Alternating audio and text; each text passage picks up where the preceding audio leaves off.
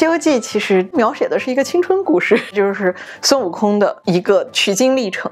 所浓缩的人生的意味。一开始的时候，大家都是一只猴子嘛，都不是太受这个社会规则的束缚，大家都纯真无瑕，大家都想干什么干什么，想吃什么吃什么，想作什么作什么。很多人表示说，我们很羡慕猫的生活，那是因为都市人日常生活当中想吃就吃，想作就作，然后不用顾虑任何东西的就是猫。但事实上，一只野生的猴子肯定比猫要愉快嘛，特别是生活在热带的猴子又不缺吃的，生计上面没有什么压力。一般来说，天敌也。威胁不到他的生存，那么对他来说，世界是一个徐徐展开的、自由自在的、完全没有边界的画卷。那么取经的历程，就是宏大的人生必须完成的使命。这个过程很像是一个人必须谋生、必须长大、必须养家糊口、必须承载着更伟大的人生抱负和人生追求的过程。一部古典的名著，它要到今天你还能读下去，那是因为他内心当中，他一定有一些东西是现代人所需要的。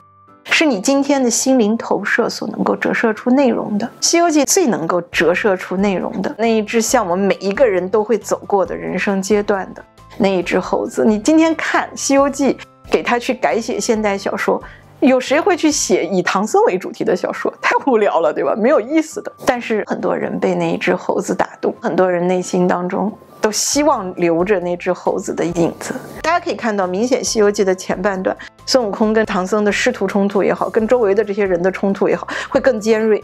那么他走到最后，他自己就开始接受了这种生活，就是人间正道嘛。我们每一个人或者每一只猴子，最终都是要走回人间正道上。虽然这个人间正道不一定是你自己很开心的那条路，或者说不一定是真正的释放天性的那条路。但是是你所在的这样的一个世界规定你必须得去走的那条路，就像你的使命，孙悟空的使命是护送唐僧去求经。这个世界上，最后最开心的，其实还是那一只在花果山上无拘无束，既做不到与天地同寿，亦做不到与日月齐光的，但是却绝对绝对的属于他自己的猴子。